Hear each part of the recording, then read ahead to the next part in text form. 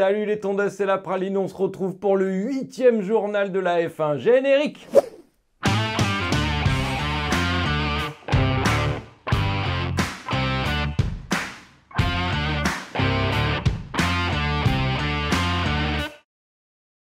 Au sommaire aujourd'hui, la cinquième manche de la saison, le Grand Prix de Miami. À la fin de cette vidéo, vous saurez tout ce qu'il faut savoir sur le week-end qui vient de se dérouler. On va voir dans un premier temps le tracé, je vous présente un petit peu les caractéristiques de la piste, c'est une nouvelle piste. Et dans la foulée derrière, on va voir les essais en vidéo, les qualifs en vidéo et un résumé de la course. Ça, c'est tout de suite le Grand Prix de Miami, ah là là, sur le papier, ça fait rêver. Les palmiers, la chaleur, le sable, l'eau, oh, comme des vacances au début du printemps. Dans les faits, ça a été assez le cas. Le Grand Prix de Miami, globalement, a été bien organisé. Déjà, les tribunes étaient bourrées de spectateurs. Toutes les places ont été prises en quelques minutes seulement, alors qu'elles n'ont jamais été aussi chères pour le coup. C'est vrai que là, ça a fait un petit peu débat ce week-end, mais en tout cas, c'était rempli. Il y avait des spectateurs, ça rigolait, ça souriait, ça applaudissait, ça hurlait. C'était vraiment une super ambiance. Le cadre était super et on a eu du beau temps pendant une bonne majeure partie du week-end. Et franchement, ça faisait du bien de voir un Grand Prix de F1 aussi vivant, aussi animé. C'était une hype pas possible. Il y avait des stars dans tous les sens, on serait cru au Festival de Cannes à la bonne époque. Et là, on était juste dans les paddocks de la Formule 1. Vraiment, tous les grands noms du monde étaient là. C'était un vrai rassemblement, un gros coup médiatique, un gros coup sportif. Les organisateurs ont réussi leur pari. Pour le tracé en lui-même, le circuit de Miami, il est dans la lignée de ce qui se fait maintenant, on va dire, de façon moderne pour les Grands Prix. C'est une sorte de fils caché de Jeddah et de Bakou. On a regroupé le meilleur des deux pour faire une sorte de circuit best-of. C'est bien dans l'esprit à l'américaine. On se retrouve avec euh, un circuit urbain, donc des murs de chaque côté de la piste, très peu de dégagement. Alors si, heureusement, il y avait des dégagements, mais en asphalte, hein. il n'y a pas un brin d'herbe, pas un, grain de, un, grain de, sable sur le, sur le circuit. On a des parties très rapides, des grandes, grandes lignes droites où on prend vraiment beaucoup, beaucoup de vitesse, surtout entre, entre deux murs. Et on a aussi une partie qui est très, très, très... Alors, le mot, c'est pas technique, parce qu'en soi, elle n'est pas technique, mais elle est très, très sinueuse. Les pilotes sont vraiment à, 70-80 km/h, ce qui est rare pour une Formule 1 sur la piste.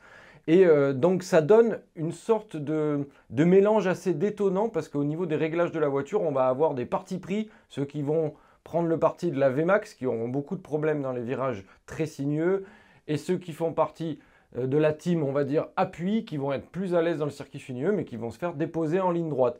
Et au milieu de ça, ça révèle aussi beaucoup le comportement du châssis, parce qu'en alternant les virages à haute vitesse très balancés et euh, le virage très sinueux, ça, ça, met euh, en valeur ou malheureusement en exergue certains problèmes ou certains bons points, certaines bonnes choses des différents châssis. Les équipes en apprennent beaucoup et nous, en tant que spectateurs, on voit des pilotes qui ne sont pas encore aguerris sur la piste et, c'est assez chouette de revoir une forme d'humanité derrière un volant plutôt que des circuits ultra connus où les mecs c'est des horloges et à un moment donné on déconnecte un petit peu avec le, ce qu'ils sont en train de faire, le côté humain de ce qu'ils sont en train de faire.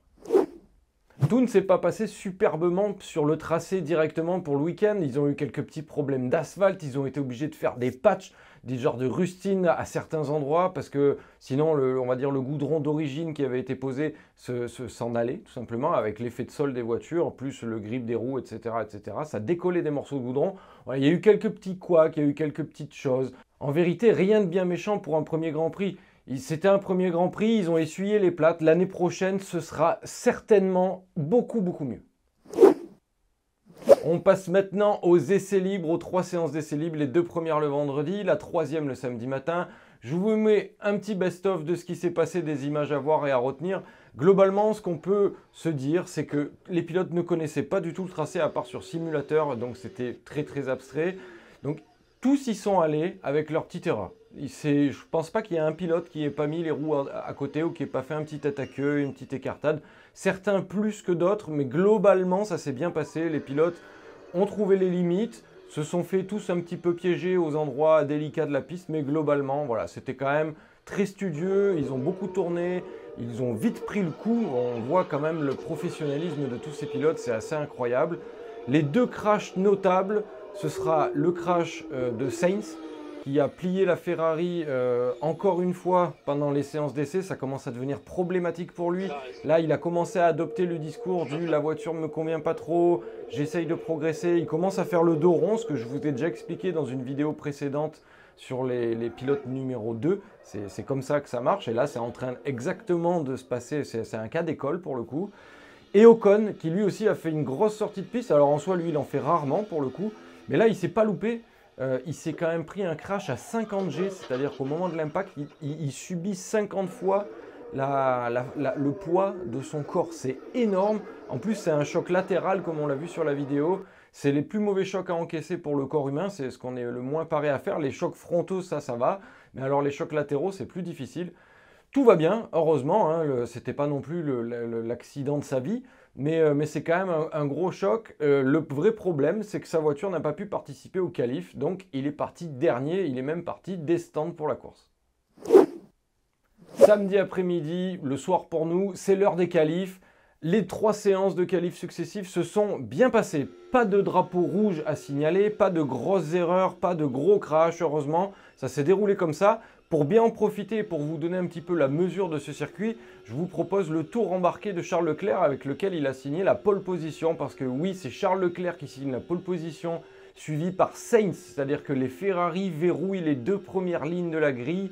Ça, ça fait toujours plaisir à voir, on sent qu'ils étaient contents.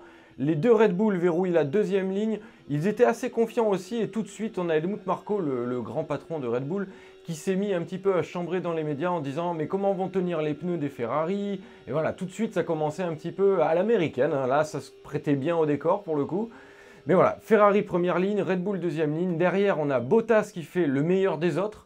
Euh, encore une fois, on le retrouve bien à l'aise, Bottas, hein. il fait vraiment le boulot, il est très discret, on ne le voit pas, on n'en entend pas parler, mais il est là, enfin, c'est quand même pas rien, il est en début de troisième ligne, c'est génial pour lui. Et à ses côtés, juste derrière lui, on retrouve Lewis Hamilton qui est de retour dans le top 10. Ça fait plaisir, ça devait lui manquer.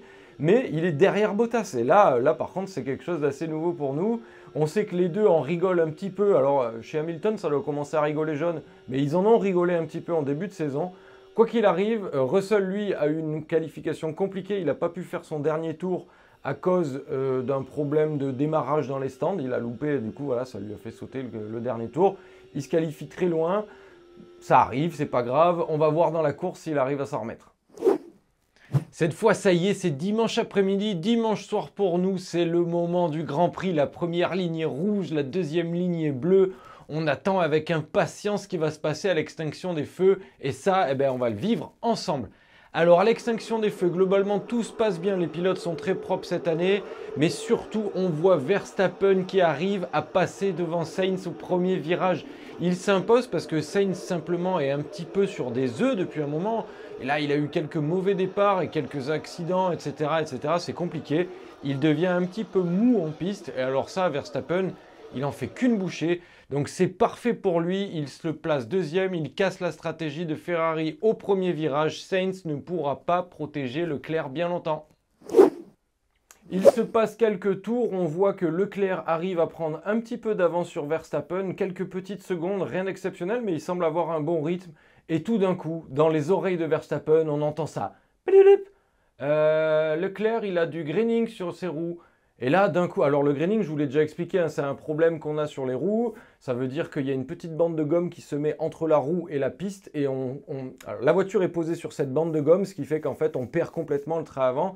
On perd beaucoup de temps quand on souffle de graining. C'est un phénomène qui peut être passager. En général, ça peut s'éliminer au bout de quelques tours. Cette petite bande de gomme, elle s'en va. Donc euh, ça résout le problème, mais des fois, ça persiste. Et alors là, bah, le relais, il est fichu. Quoi qu'il arrive, au moment où il y a ce message dans les oreilles de Verstappen, mais à la télé, ça se voyait à travers le casque, on a vu les flammes, voilà, la bave qui commençait à sortir de la visière. Enfin, Verstappen, dans ces cas-là, il n'hésite pas deux fois pied planche. En l'espace d'un tour, il était revenu directement derrière Leclerc. Et je vous laisse regarder comment ça se passe au moment où il revient. Il cherche pas à comprendre. En vérité, il cherche pas à comprendre, mais il fait une très belle manœuvre. Il le dépasse au premier freinage et il empêche Leclerc de pouvoir décroiser à la sortie du deuxième virage. Il se place vraiment, c'est vraiment un dépassement d'école. C'est du très très bon travail à ce niveau-là. Une fois le dépassement de Verstappen effectué, les choses se calment en tête de course. Verstappen prend de l'avance sur Leclerc qui souffre avec ses pneus. Leclerc a de l'avance sur Sainz qui a souffert en début de Grand Prix, et Sainz a de l'avance sur Perez qui a souffert d'un petit problème technique. Le rythme des quatre est sensiblement le même, ce qui fait qu'ils n'arrivent pas ni à creuser d'écart, ni à se rejoindre.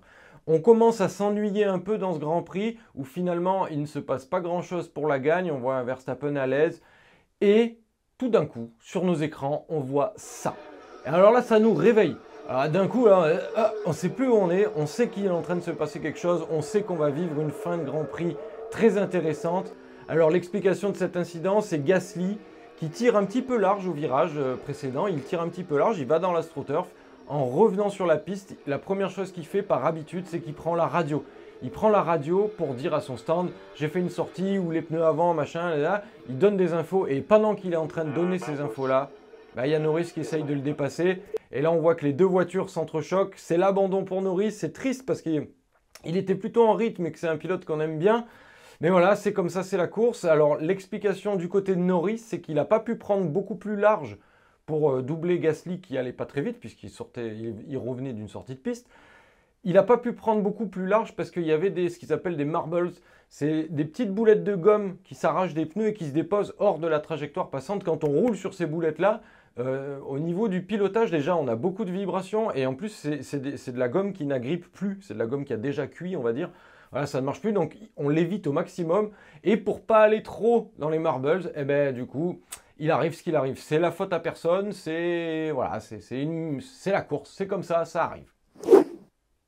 Après ce safety car, les voitures se sont regroupées et on s'est dit chouette, on va avoir une fin de Grand Prix exceptionnelle. Pas vraiment, à vrai dire pas vraiment. En tête de course, il s'est pas passé grand-chose. On a vu que Leclerc a fait tout ce qu'il a pu pour essayer de tenter une manœuvre sur Verstappen, mais ça s'est avéré impossible. La Ferrari ne lui permettait pas aujourd'hui de tenter quoi que ce soit sur une Red Bull. Le problème, il est simple, c'est que la Ferrari DRS ouvert ne va pas plus vite que la Red Bull DRS fermé. À partir de là, dans la F1 moderne, tout est dit. C'est-à-dire qu'à un moment donné, il se rapprochait dans les virages, mais il perdait du temps dans les lignes droites, même avec le DRS. C'est incroyable, mais ça ne permet pas, sur ce circuit particulièrement, d'aller tenter des manœuvres à la fin d'une ligne droite. C'est logique. Derrière ça, on a eu une belle bataille entre Hamilton et Russell. Alors, Russell était parti loin sur la grille, il y a eu un très mauvais premier tour, mais c'est parce qu'il est parti en pneu dur. Et lui, sa stratégie, ça a été, il l'a annoncé à la radio, on l'a entendu, attendre le plus tard possible pour s'arrêter, attendre qu'il y ait un safety car ou un virtual safety car pour minimiser le temps passé au stand, parce que pendant que les autres sont limités, forcément, ça fait gagner d'autant, et essayer de bien se placer à l'arrivée. En gros, un petit peu ce qu'avait fait Albon euh, il y a quelques grands prix de ça et que ça avait fonctionné. Alors là, l'incident entre Gasly et Norris, pour, euh, pour Russell, c'est du pain béni. Il s'arrête au stand. À ce moment-là, il repart seulement derrière, juste derrière Hamilton. C'est une excellente, euh, une excellente opportunité pour lui parce qu'en plus, il ressort avec des pneus médium neufs quand Hamilton a gardé ses pneus durs usés. On sent bien qu'à un moment donné, ça va tourner en faveur de Russell. Mais les deux nous offrent des belles images avec un Hamilton qui est quand même assez, euh, comment dire, il se laisse pas passer. C'est très propre, c'est très. On sait que les deux s'entendent bien, il n'y a pas de souci. Mais on sent aussi qu'Hamilton, quand même, il a un truc chez lui qui commence à gratter. Alors il va finir par le laisser passer euh, dans la ligne droite qui suivait cette petite manœuvre-là. Mais on ne pourra pas dire qu'il n'a pas renoncé sans se battre. Et ça, c'est quand même plutôt chouette. Alors qu'il ne reste qu'une dizaine de tours et que Perez sent bien qu'il n'a pas vraiment le, niveau pour aller challenger Saints, il tente le tout pour le tout quand il se rapproche de lui, jusqu'à même tenter une dive bomb. Ce qu'on appelle une dive bomb, c'est vraiment le freinage qui arrive de très très loin et qui plonge à l'intérieur du virage, empêchant l'autre de prendre le virage au dernier moment. Alors là, en l'occurrence, c'était mal maîtrisé, ça s'est joué à pas grand chose, mais il finit trop loin sur sa trajectoire, ce qui l'empêche de, de, vraiment appliquer un bon, un bon, un bon dive bomb. Euh, ça passe pas loin de l'accident surtout. Il finit euh, ses chances de pouvoir doubler Saints après, puisque en faisant ça, il finit ses pneus. Donc l'affaire est entendue derrière ça. Ça passe pas loin, mais c'était une belle image. Et voilà, on voit un petit peu toujours le sursaut de Pérez qui cherche toujours à donner tout ce qu'il a, voire même un petit peu plus dans ce cas-là. Le Grand Prix arrive bientôt à sa fin. Il fait toujours chaud. Il a finalement pas plu les pilotes souffrent. On l'entend à la radio, on les sent essoufflés, on voit que c'est compliqué, on voit des petites erreurs de trajectoire et on commence à avoir des erreurs d'appréciation. Et c'est là qu'entre en jeu notre joli petit trio composé d'Ocon, de Schumacher et de Vettel en première place. à un moment donné, Schumacher, il perd un petit peu, il perd un petit peu la notion. Il tente quelque chose qui ne peut pas passer et il chope Vettel, il l'envoie en l'air. C'est gratuit, c'est cadeau, c'est merci d'être venu. Alors c'est pas bien dramatique, mais ça fait encore une erreur de plus pour Schumacher qui définitivement cette année a du mal à boucler un Grand Prix sans commettre d'erreur. Et ça, ça commence à être compliqué à gérer médiatiquement, euh, même euh, personnellement. C'est compliqué. C'est quelqu'un qu'on a idolâtré depuis qu'il fait du sport auto. On y a toujours dit t'es le meilleur, t'es super. Et là, d'un coup, eh ben, c'est pas si simple que ça la Formule 1. Et le temps que ça rentre, j'espère vraiment qu'il va garder le moral, mais surtout qu'il va commencer un petit peu à baisser son niveau d'agressivité parce que tenter des choses qui ne passent pas, ben, ça passe pas quoi.